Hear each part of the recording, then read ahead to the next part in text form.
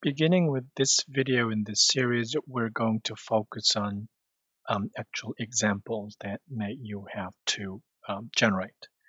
So this example um, is titled the graph with everything. So first uh, we're going to get this grid line, nicely um, formatted grid line. And if you look at this graph, it has a vertical asymptote, it has horizontal asymptote, tangent line, and normal line and there's some area under the curve. We have this uh, critical number that is not a local maxima, and there's a cusp, and there's some notation for a point that is missing and stuff like that. So we're going to go through this, um, making this using Inkscape. First, uh, let me talk about that grid line I got. I actually went to GeoGebra and used this geometry application and you can select the grid line and they generated very nice um, for the most of the math instructors taste. But uh, you can also generate that within the Inkscape if you go to extension, if you go to render, and underneath it, there's uh, grids. You can use Cartesian grids and polar grids. There are different types of grids you can generate that. But I don't think it's as, as nice as what you get from GeoGebra. So I exported this um, grid line with nothing in it as a PDF file, and then you can bring that into the um, Inkscape. So um, this example we are looking at in here is, is not really particularly uh, had to be accurate with these all these uh, the grid line. So the trick is that I'm going to generate these graph first, and I'm going to put this grid line later and locate it in a suitable position so that it at least align nicely with this horizontal axis. So that's what we're going to do. If it has to be accurate to this graph, of course, you can put that grid line first, and then you can work uh, on top of it, which I will cover toward the end of the video. So let's first go ahead and uh, sketch this graph. Um, it's a long, um, long line, long curvy line. Somewhat, if you're not familiar with this handling with this Bezier curve command, if you have to break it, you can break it anywhere and you can still connect it. And if the connection is not smooth enough, we can edit it later. So here's uh, how we're going to do. I may have to come back in and see what's going on, but I'm going to start with this vertical line. So let's go to the layer 4. I'm going to choose this uh, Bezier curve, and I already reset it um, nicely so that um, stroke width and all that it's setting nicely. So to draw a curve, you have to click and drag. This is going to be the velocity vector. I know it's uh, nearly horizontal on the vertical uh, line, so I'm going to make it is more uh, nearly vertical and you know maybe it's have to be perfectly vertical. It's not supposed to be if it is a you know, vertical asymptote but you can see it's a nearly vertical um, line in there. Here I'm going to introduce this horizontal um, tangent line in there. You can hold the control key and click and drag. Not too long very short and it's going to generate and if you release horizontal tangent line there so here I'm going to introduce uh, the critical line um, with no local maximum, local minimum. So again, hold the control key and the drag um, to horizontally, and then it'll try to keep it horizontal if you, if you don't move around too much. Again, I'm going to make it shorter than what, what's seen in that um, demo video. And from here, I don't quite remember, so but uh, let's do the local maximum. And then here, I'm going to deep down um, local minimum there again. And but that's uh, I'm to hold it down later and go up there slightly higher somewhere there.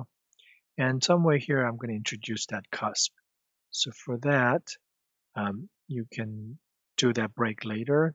I prefer that later, but I'm going to do um, on demonstrations for some reason and you made a mistake like that, and then you can, you know, you want to make it smooth, then you can right click. I think it's going to end it. And let me go ahead and change that to the solid line. That's what I wanted.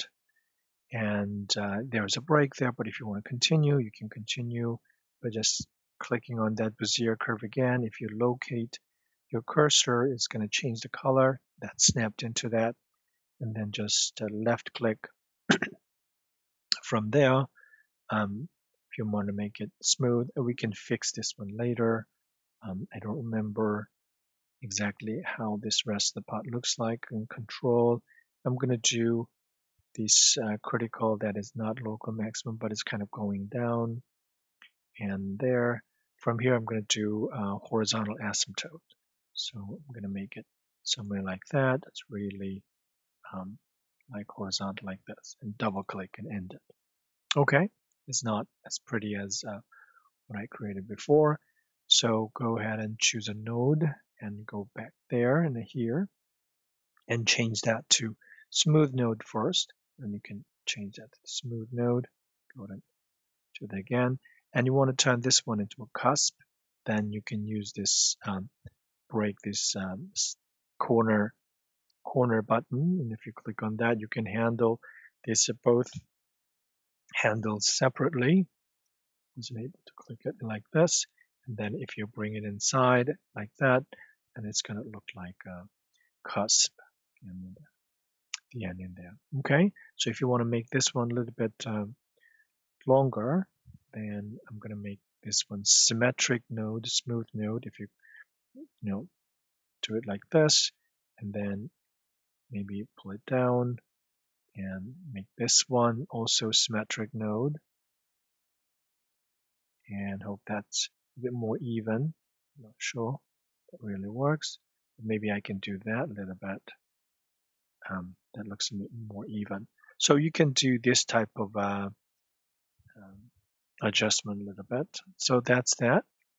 And I'd like to throw in this arrow in there so that it is indicating that it's asymptotic behavior.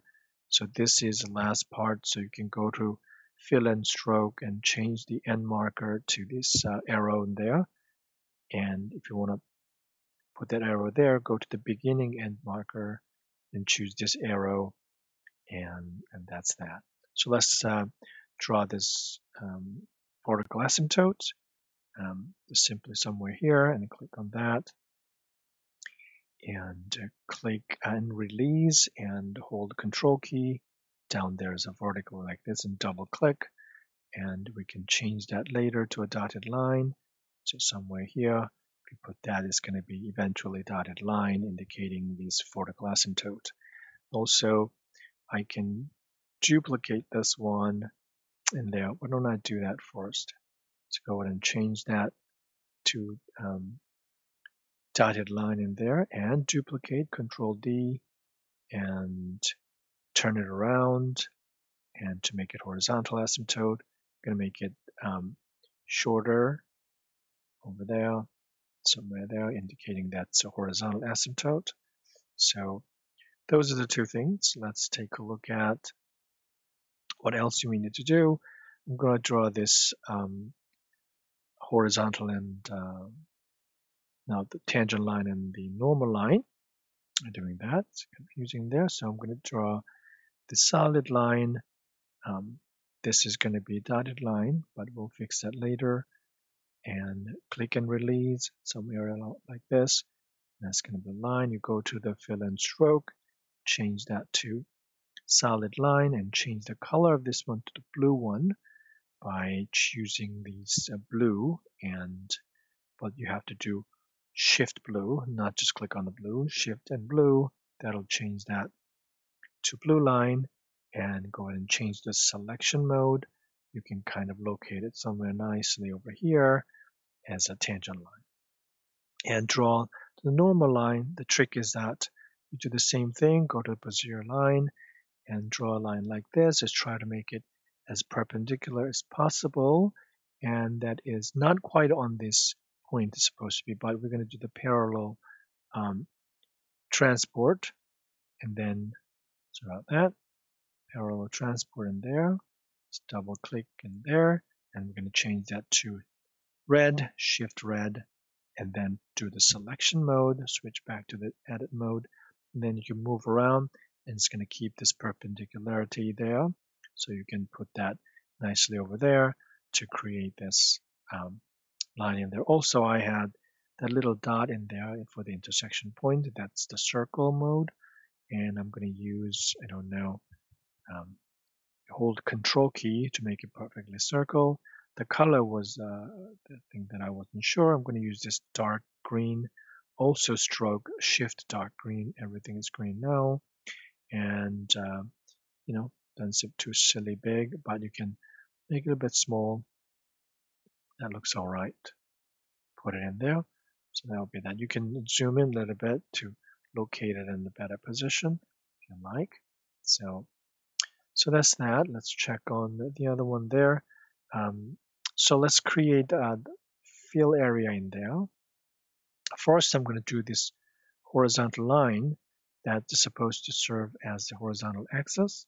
So let's go and do that. This one long horizontal line, I'm going to put it here, click and release and hold the control key. Double click first, change the color to the black, shift black and the selection and kind of locate it somewhere nicely here, somewhere like that. And I want to make sure that's a dotted, a non-dotted line, and that's that. So uh, next thing is the shading part. So if you want to do this uh, area under the curve, I will use this um, Bezier curve and go somewhere here and click and release and hold control, double click here and that's left bound.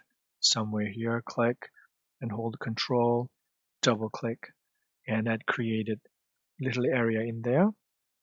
And I'm going to adjust this end part later. Um, but we want to color that part and we can use this bucket fill.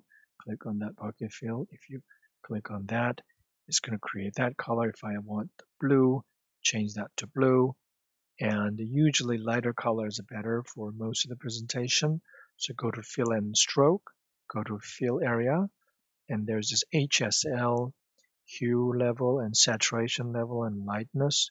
You just change that lightness to a lot lighter, usually easy on the eye. Always when you do this bucket fill, it'll create extra boundary. So you can go and, and shift um, X mark will and delete that boundary in there. So let's go to this arrow in there, selection mode. So you can see they created this fill-in area. You go there, and I'm going to put that into kind of to the bottom um, bottom area there, all the way to the bottom, so that it goes below this all this boundary. Now I want to change this boundary to the dotted line, and if it happened to be difficult to select that one, always use Alt key and if you choose Alt key, it'll try to go right below. But this one's okay because I already sent this one all the way to the back. So I could choose that easily. And then I'm going to change that to dotted line, go to fill and stroke, stroke style, and there's this dotted line mode. And it's not absolutely necessary, but I'm going to try that. And here I'm going to do the paste style. The style is stroke um, style of this stroke is dotted line, you can paste it to this one in here. So you can do Control C and click on the other one rather than Control V, that will be paste. I think it's Control Shift V. So it's a paste style, Control Shift B, Shift Control B. I think it's the same thing. So if I do it here, it's going to paste the style. That includes the width of the style as well. So I will zoom in, making sure that it doesn't go over. So this one as well, using this vertical transformation there, making sure it's in, in line with that. So I created this fill area. You can do that here as well. That part will be easy. Bucket fill and put that in the color and remove the stroke, shift X in there. And to change the color, you can just simply take that region and control C and put it in there and control shift B that will paste a color. Or you can use this um, color picker as well. Um, so making sure that I select this one and send it all the way back that usually looks better. So um, another thing is that fill an open area in there that I'm going to do I can just go and copy this circle I already did control D and drag it over here and make it a little bit bigger and making sure it looks okay. And oh, um, we want to fill this one with a white color and then boundary is a black one like this. And if you make it smaller, I think it keeps this um, width, stroke width. So look bad. So if you move it over there, as you can see, it's filled with a white color. So um, and that that makes a difference. So that's um, that's the thing. So let's go and check if we have covered everything. I think we did. Only thing that is left is getting these. Um, what is it? The the grid uh, the grid background that we will get from layer three. So I got that from layer three or from the you know GeoGebra that is in the PDF form. So if I paste it, you will see it'll go um, all over this, right? So it's blocking the whole thing. So you have to send this one all the way to the back. And then we have this one in there. So I'm going to move this um, so that it's um, at least this horizontal axis, x-axis, is in line with nicely with the um, x-axis. I put it in there, so I can select that x-axis now. I can uh, remove it, making sure adjust it a little bit more in there. Okay. It wasn't perfect there, but um, you can at least take that and then you know stretch a little bit, and uh, that kind of thing is always um, excellent here. All right, so um, and another thing that next thing, last thing I want to do is what if we want to do more accurately on this grid line. And we're going to put this uh, grid line first and then draw on top of it. And that you can do. And for that, I'm going to do that in the next layer. And I'll introduce this locking the background part. So let's do that one. All right, I got this grid line pasted another layer. And if you want to do this line in here, and then you can just, for example, if you have a draw a curve from there, you know, click and drag introduces velocity and then do it here again, double click and then delete this the fill in area by Xing in there. So you can do that, but accidentally if you hit it there and it always moves this uh, grid around, so that could be annoying. Um, there's one thing you can do whenever you have to select this one, for example, over this grid line. If you just want to select that, you can of course click on that but you can also drag it like this. But that was intention. You wanted to draw the rectangular box, but it accidentally, you know, selected this uh, background. I think it's for that. I think the shift drag or something like that. Yeah, the shift drag is correct. If you hold shift key and then click on drag in your selection mode, it'll allow you to not uh, select the background. Shift and drag you can do that.